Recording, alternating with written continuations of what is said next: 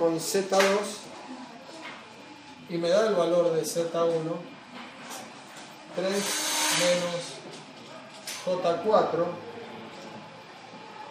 estos son ohms en paralelo con Z2 que vale 10 más J0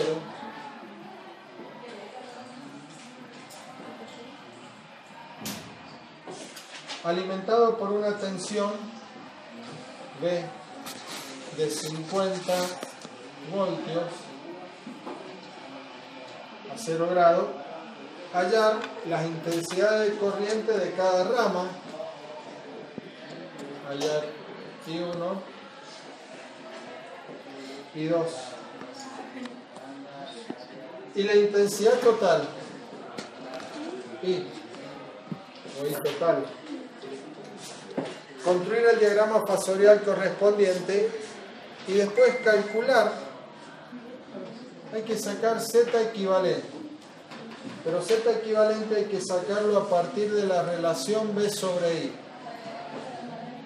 Y luego hay que compararlo con el valor obtenido.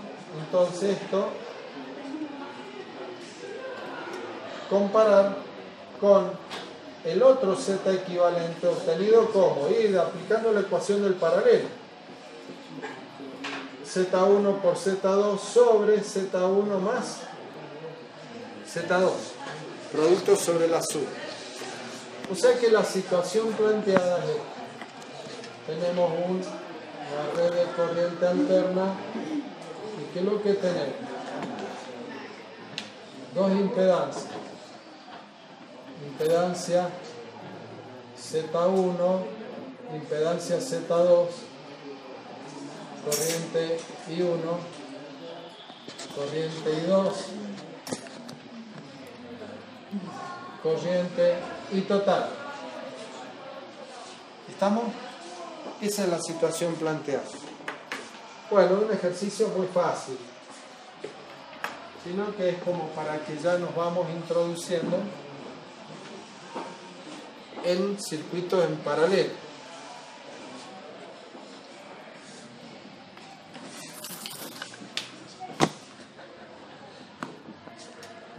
Bien. ¿Cómo sacamos la intensidad de corriente 1? Acá tengo la tensión aplicada a B. ¿Sí? Eh, Z1, Z2, y 1 y 2. Ahí está. Bueno, hay que calcular la corriente I1. Aquí es igual.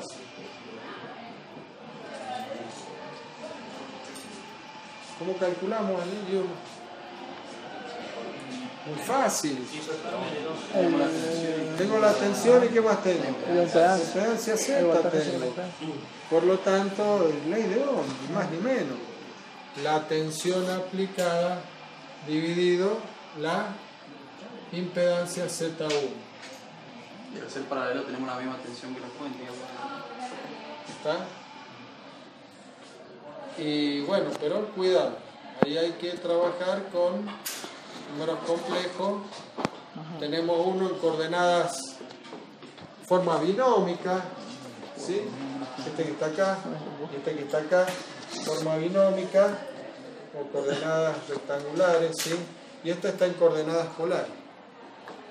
Eso van a tener que, ¿qué hacemos para resolver ahí? B sobre Z1. Hay que pasar a coordenadas polares Z1 y Z2. Z1 y Z2 lo tengo que poner de esta forma. Hago la división, divido los módulos, resto los ángulos y me da un valor en coordenadas polares. ¿Está claro? ¿Sí? ¿Se acuerdan de todo eso, no? ¿Ah? No, más o menos, más o menos. Ese más o menos es un no rotundo, ese, no más o menos. 95%. Sí. Bueno, hagámoslo. Sería 50 voltios a 0 grados dividido. Bueno, ahora pásenlo ustedes. ¿Cómo serían coordenadas, coordenadas polares? 3 menos J4. Con la calculadora eso lo, lo saben hacer, ¿no? No, tampoco. Tampoco. 5. No, no, no, no. 5, 5 al módulo. Sí. Menos 53,3 será. A ver, sería 5 y el ángulo menos 53,3. 3. Bueno, coma 1. Dejémoslo ahí. ¿Está? Esto sería. oh,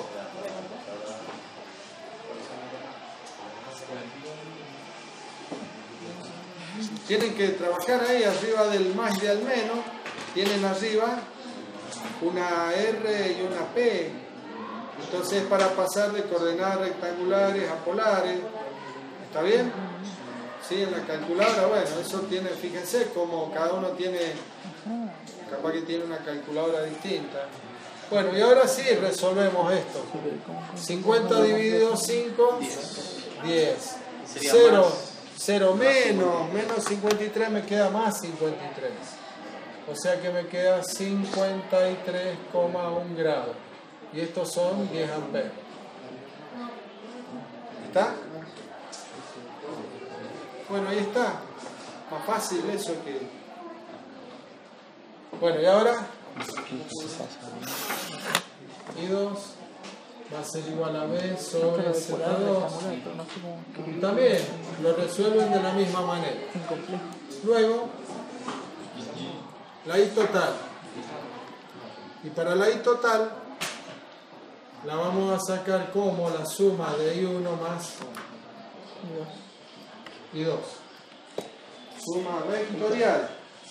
¿Qué quiere decir suma vectorial? Y quiere decir que ahora estos dos valores que yo obtuve acá, que van a estar en coordenadas polares, tengo que volver a pasarla. Porque la suma, tengo que sumar parte real de ambos y tengo que sumar la parte imaginaria. No me digan que no se acuerdan sumar números complejos tampoco. No me digan más o menos. Sí, sí, sí.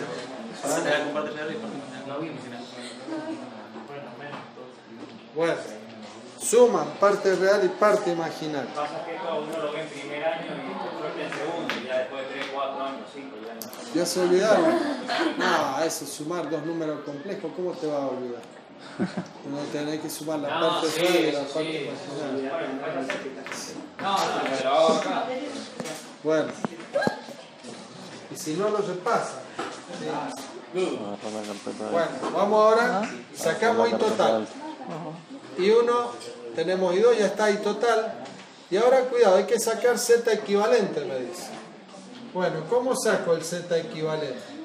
El Z equivalente, este que está acá, sería una sola impedancia del paralelo este.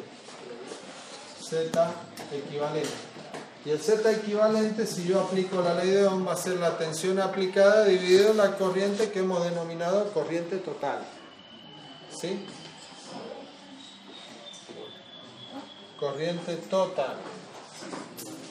Vayan poniéndole esto, ¿ven? Le pongo la rayita arriba porque significa que son fasores, ¿sí? Bien. Pero y a la Z no le puse la rayita arriba. ¿Por qué no le puse la rayita arriba? Me olvidé. ¿Ah? Porque no es un fasor. Sería, es un, es un vector. Es distinto de un fasor. El fasor es el vector giratorio. Y la impedancia es el vector que me representa esa, impe- esa impedancia que tiene una parte real, una parte imaginaria, pero no gira. Por eso ese es un vector y el otro es un fasor. Bien, esa es la diferencia. Bueno, ya está, sacamos el z equivalente. Pero ¿qué hay que hacer después? Bueno, después hay que aplicar la formulita ¿sí? del z equivalente, que es z1 por z2, otra vez multiplicación de complejo, dividido z1 más z2, otra vez suma de complejo. Y después división. Numerador dividido el denominador, la división, van a llegar a un resultado y ese resultado me tiene que quedar igual al que obtuve de hacer B sobre I total. Eso es lo que hay que hacer. ¿ah? Bueno, muy fácil este ejercicio.